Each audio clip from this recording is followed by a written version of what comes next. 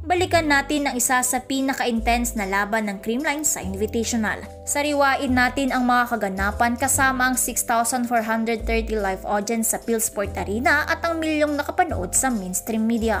Battle of the Veteran Team sa pagitan ng Signal HD Spikers versus Creamline Cool Smashers. Kaninong battle cry kaya ang mas mananaig?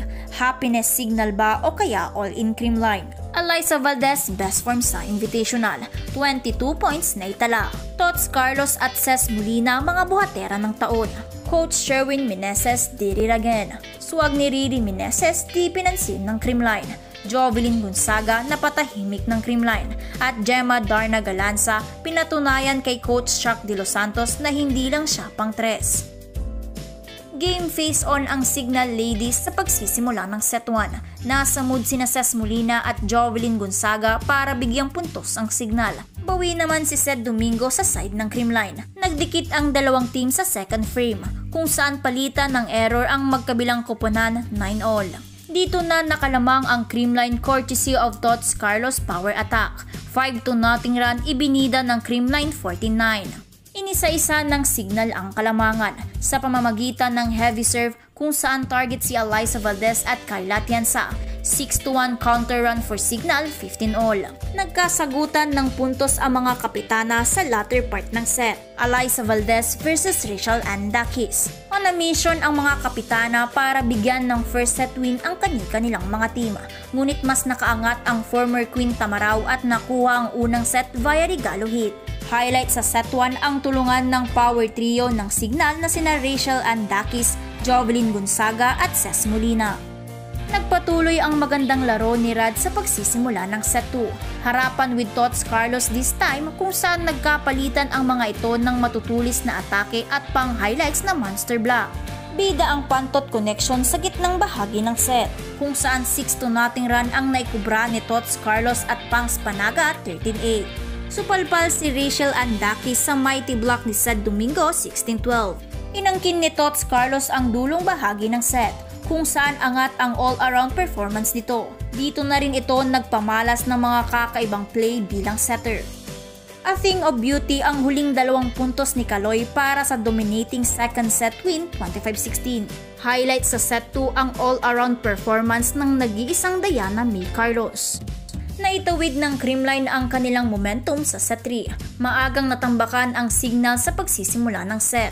8 to 1 run kung saan nagpakita ang Creamline na mga buwis buhay digs sa pangungunan ni Ella De Jesus. Tila nagpapakitang gila si Elevator Ella De Jesus sa Japanese team kung saan kilala ang mga Hapon sa pambihirang floor defense.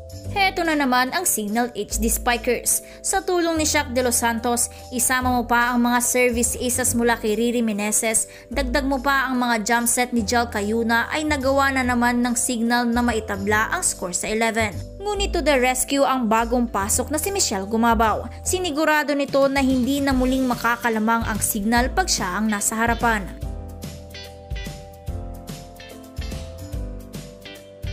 Dito na napatahimik ng creamline na ang opensa ni Jovelyn Gonzaga. Nahirapan ng lefty spiker sa solidong floor defense ng creamline. Bantay na bantay ni Eliza Valdez si Jovelyn Gonzaga, 17-13. Nabulaga ang signal sa latter part ng set courtesy of Bagyong Baldo. Signal number 4 ang pananalasa nito sa kupunan ni Shaq de los Santos. Di rin nagpahuli si Gia de Guzman at nagpamalas ito ng husay sa setting. Sa huli, nakuha ng Creamline ang set 3 via Gel Cayuna service error 25-21. Highlight sa set 3 ang Gia Lee tandem kung saan malaking pinsala ang dulot nito kay Jovelyn Gonzaga.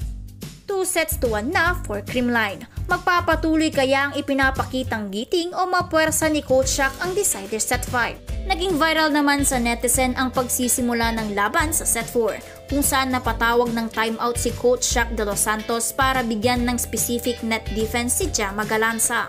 Basta tandaan mo lang pag nandito si Gemma, aatake yan ng tres, laging ganon, laging tres yan. Mo yung pag nandito sa iba, kaatake ng tres. Laging ganun, laging tres yan. Okay? Nakalamang ang signal sa first frame ng set. Bibo si Riri Meneses na bid ang kanyang offense to defense. Nasupalpal ni Meneses ng monster block si Seth Domingo kung saan may paswag pa ito. Hindi naman ito pinansin ng Creamline at nagpatuloy lang sa pagpuntos. Nahabol ni Gemma Galanza ang kalamangan ng signal. Sagot ang mga atake mula sa kanan, kaliwa at gitna, 9 all. Palitan ng depensa sa gitnang bahagi ng set kung saan bidang excellent dig ni Riri Meneses kay Gemma Galanza. Bumawi naman si Eliza Valdez ng Monster Black kay Ces Molina 14 all. Neck and neck battle ang dalawang kupunan sa dulong bahagi ng set kung saan bida sa signal ang mga magagarang set ni Jel Cayuna. Bida naman sa creamline ng opensa ni Gemma Galanza plus depensa ni Ella De Jesus. Naging turning point ang mga unforced error ng creamline upang maibulsa ng signal ang fourth set via Gemma Galanza double contact 24-26. Highlight sa set 4 ang mga paswag ni Riri Meneses at specific plays ni Coach Shaq de Los Santos. Set 5 na mga ka-spike. Madungisan kaya ng signal ang unblemished record ng Creamline, Pilipinas kumapit ka na. Join force ang power trio ng Creamline sa pag-uumpisa ng set 5. Gising na gising ang 4 ni Gemma Galanza through the block para kay Valdez at first line attack naman ni Carlos 8-4. Palagpa si Ces Molina sa latter part ng set kung saan tatlong magkakasunod na puntos ang naibigay nito sa signal.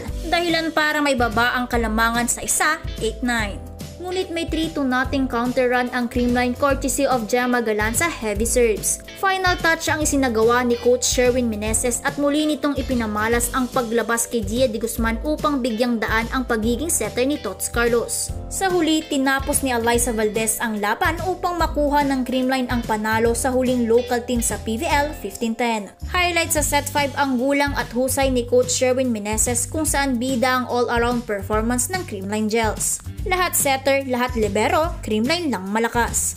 Player of the game Eliza Valdez with 22 big points in her best form this PVL conference. Carlos with 27 big points. Gemma Galanza with 21 big points and 17 digs. Remarkable performance for Ella De Jesus with 19 excellent digs. Gia De Guzman with 33 excellent sets. Bumida naman sa Signal 28 big points for Ces Molina. Rachel Andakis with 14 nalimitahan naman ng opensa ni Jovelyn Gonzaga with only 11 points. Salamat sa pagtutok mga ka-spike. Sana nag-enjoy ka at sana di ko nasayang oras mo. Kaya don't forget to like and subscribe. Salamat sa suporta.